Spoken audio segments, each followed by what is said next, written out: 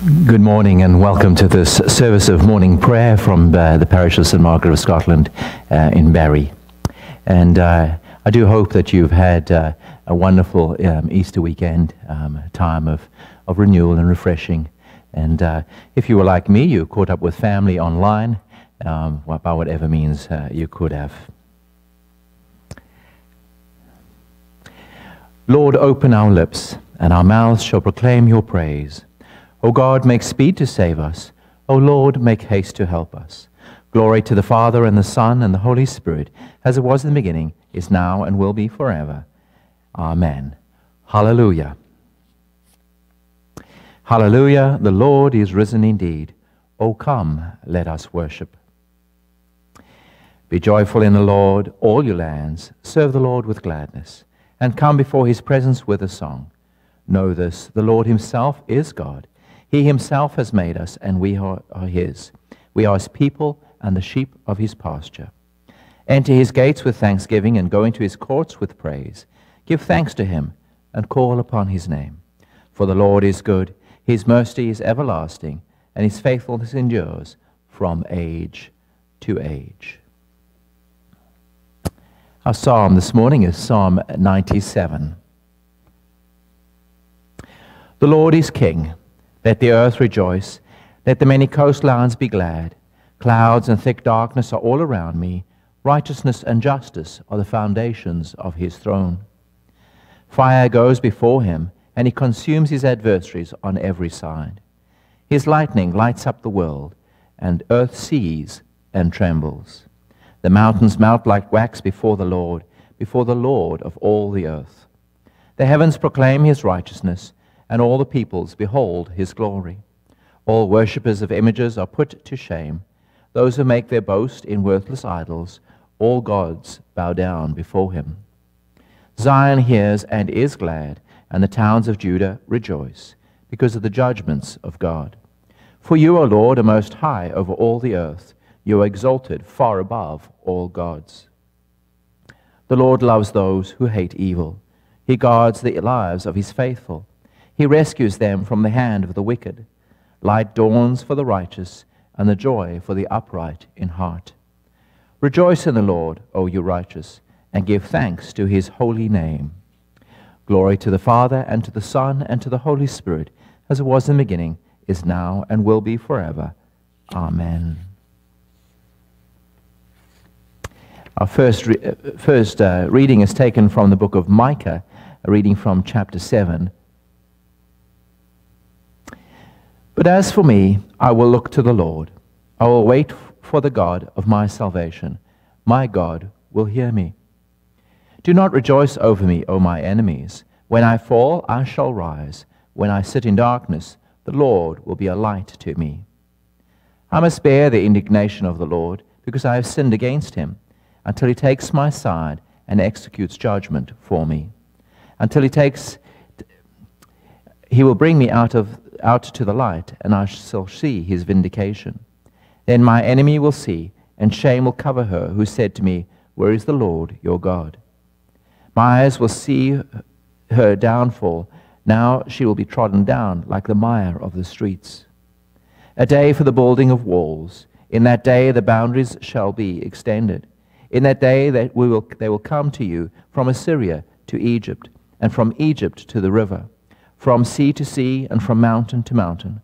But the earth will be desolate because of its inhabitants, for the fruit of their doings.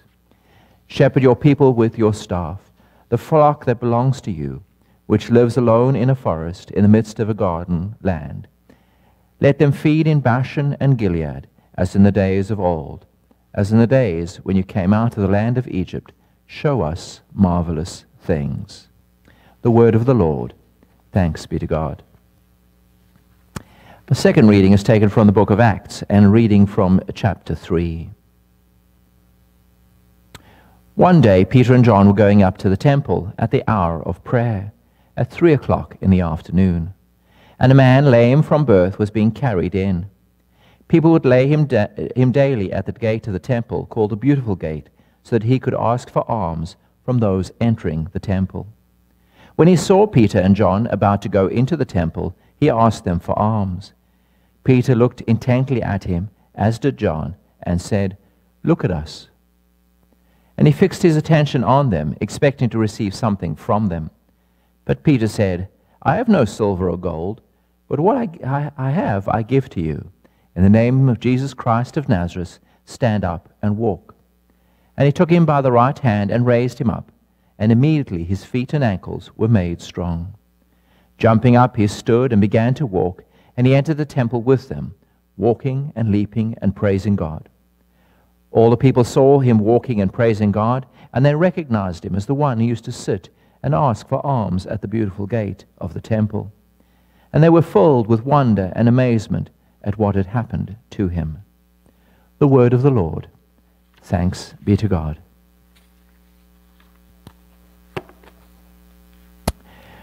The Holy Gospel of our Lord Jesus Christ according to John.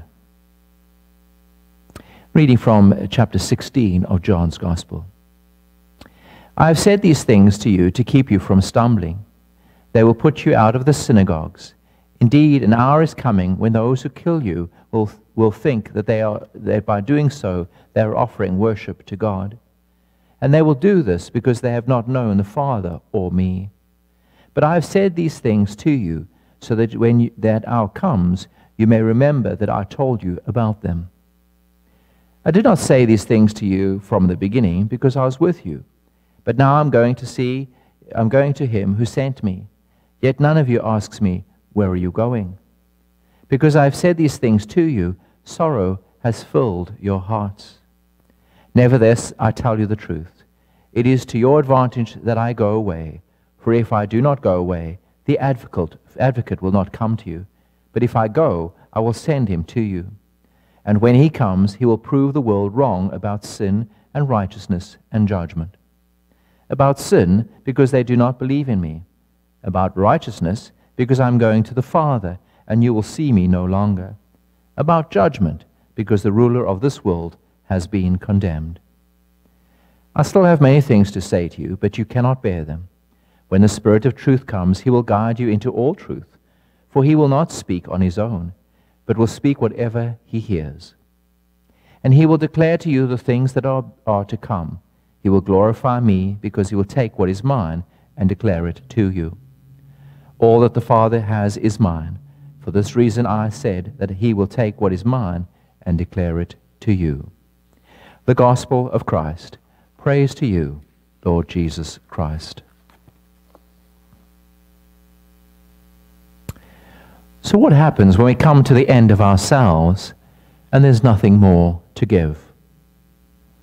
What happens when life has sucked everything from us and we've nothing left to sustain us or to give to others. This morning we have a rather obscure reading from the minor prophet called Micah. He is a key character who prophesies the fall of Samaria in a period of movement of rural people to Jerusalem, and the international situation made unstable by the rise of Assyria.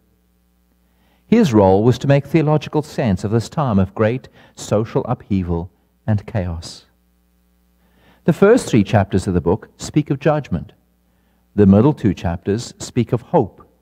And the final two chapters, which we have been, have, seen, have been added after the people returned from exile in Babylon in the 6th century, use that basic pattern. It starts with judgment and moves to hope. We have read from the final chapter here that shifts from judgment to hope.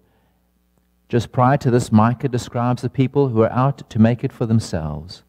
And he writes it as a lament, a sorrowful reflection on the condition of humanity. We pick up that reading from verse 7 of that final chapter, where he creates this contrast between himself and those whom he mourns with a but. He writes, But as for me. Micah then describes himself in a relationship of dependency on God. I will look to the Lord, my God will hear me. When I fall, I shall rise. When I sit in darkness, the Lord will be a light to me. In other words, even in the midst of the most appalling of circumstances, when I look for God, then I will be heard. When I am brought down, then God will lift me up. When I am lost in the fog of life, then God will illuminate my life.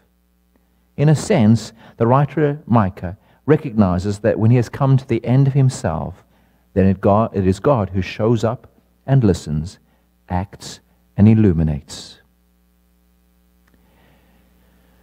We've just had the day of Pentecost in the reading from the book of Acts that we've just read. And Peter has preached his first public sermon in Jerusalem and explain the significance of this event in the light of the work and ministry of Jesus.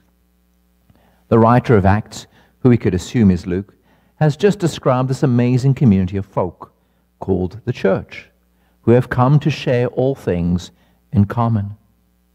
But it's clear that the early church retained the worshipping life around the temple that Jesus, their teacher, had participated in. And Peter and John are heading into the temple at three o'clock in the afternoon. Why? To participate in the daily service of inter- intercession with all the people. On their way into the temple, they are summoned by this man who is brought to the temple each day to beg for alms. And he's been, he's been lame since birth. Now we need to remind ourselves that there was no social net for the poor and those with health issues who were profoundly vulnerable. His encounter with Peter and John was to be like any other, a simple asking for alms from some anonymous bypasser entering the temple. Nothing more complicated than that, I'm sure. And while it is an hour of prayer and intercession, he seems to expect nothing more from folk than their financial support. But things are not as simple as that. We know that the community of followers of Jesus was financially incredibly insecure. As we discover later on in the books of Acts, they had to set up their own welfare system for widows and orphans. And then, when this global famine emerges, Paul had to appeal to Christians in the rest of the Roman Empire for financial assistance for those in the church in Jerusalem. Hence, Peter and John's announcement that they were penniless makes perfect sense. They really were the wrong folk for him to ask. But Peter, possibly emboldened by Pentecost, says to the man, What I have I give to you. In the name of Jesus Christ of Nazareth, or Jesus Christ the Nazarene, stand up and walk. Then Peter grabs the man by his hand and lifts him up, and immediately his feet and ankles are made strong. In fact, they are made so strong that Luke uses words like jump, stand, walk, and leap to describe the man's actions. And as is appropriate, he gives praise to God, and the crowd who recognize him are simply bowled over. Each of these narratives talks about human incapacity. Micah, in the midst of the fall of Samaria and the assault of the Assyrians, a man at the temple gate expecting nothing more than regular alms he asks, and Peter and John without the financial resources to help him. Yet each of them talks about God's intervention, listening, lifting up, and illuminating Micah's life, giving a man dependent upon alms the capacity to support himself, and helping two destitute followers give capacity through what is not theirs. Often we're reminded to be stewards of what God has given us and to give to others, and to use what we have for the work of God in the lives of others. And that is still profoundly true. But there are times in life when we no longer have the capacity to go on, to see a different future, or to offer anything of substance from ourselves. There are times, though, that we need to simply be reminded that when we've reached the end of ourselves, then we may have reached the beginning of God. When we can no longer listen to another, then God hears. When we can no longer raise up another, then God will lift them up. When we can no longer offer clarity, then it's God who illuminates their lives. When we can no longer offer alternatives, then God will open up possibilities. And when we can no longer offer practical help, even in the smallest way, then God is there to transform a life. Sometimes we need to learn when we've reached our end, God is just beginning. Amen.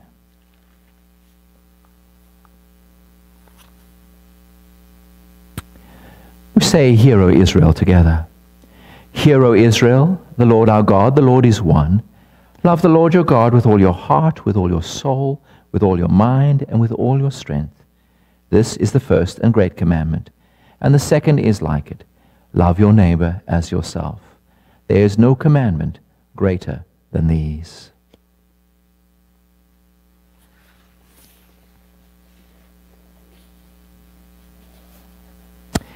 This morning I'm using uh, Intercessions for the Christian People as a resource uh, for our intercessions today. In the power of the resurrection, let us pray to the Lord, saying, Lord, have mercy.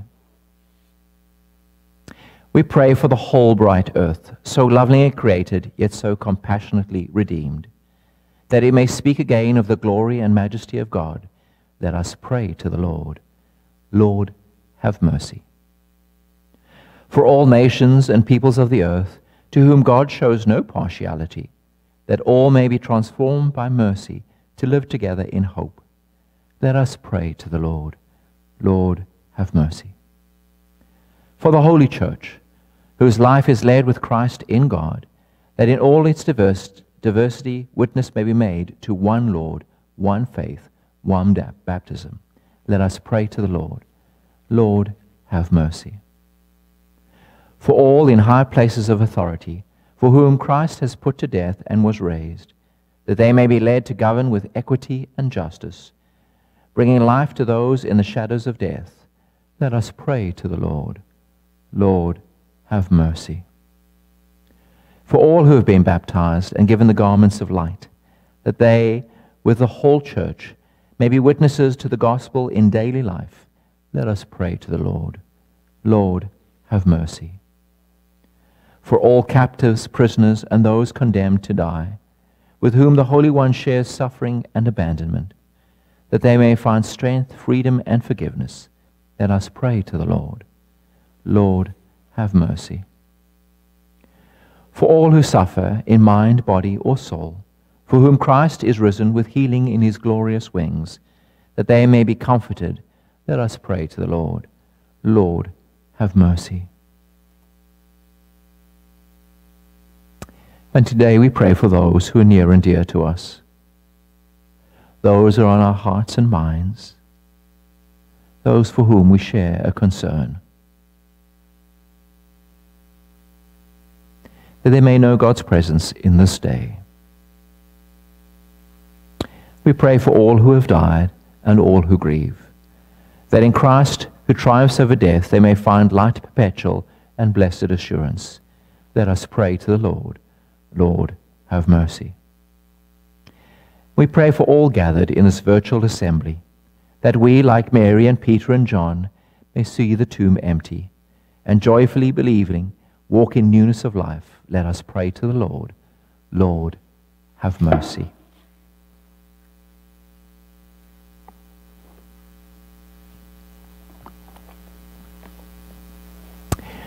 We pray the collect uh, for Easter 1 Lord of life and power, through the mighty resurrection of your Son, you have overcome the old order of sin and death, and have made all things new in him. May we, being dead to sin and alive to you in Jesus Christ, reign with you in glory, who with you in the Holy Spirit is alive, one God, now and forever. Amen. And now, as our Savior Christ has taught us, we are bold to say, Our Father, who art in heaven, Hallowed be thy name. Thy kingdom come, thy will be done, on earth as it is in heaven. Give us this daily, day our daily bread, and forgive us our trespasses, as we forgive those who trespass against us. And lead us not into temptation, but deliver us from evil. For thine is the kingdom, the power, and the glory, forever and ever. Amen.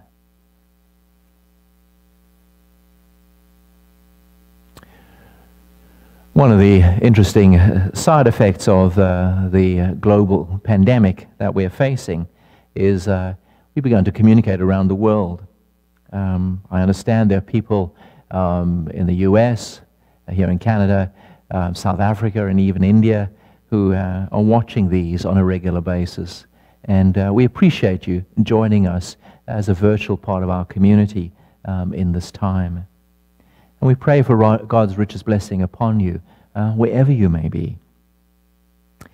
Uh, Norm Seville, uh, who's uh, one of our lay assistants here, um, is doing daily devotions um, for Mondays, Tuesdays, um, Thursday, and Friday. And uh, if you wish to be part of those, they get sent out um, each day by Norm, by email. Um, then do um, email our main office and uh, we'll pass on your contact information to Norm. Or if you have Norm's email address, uh, do contact him uh, directly as well. My understanding is that the group has grown quite substantially um, over the last uh, few weeks. Let us bless the Lord. Thanks be to God. May the God of hope fill us with all joy and peace in believing through the power of his Spirit. Amen. And the blessing of God Almighty, the Father, the Son, and the Holy Spirit be with you all now and forevermore. Amen.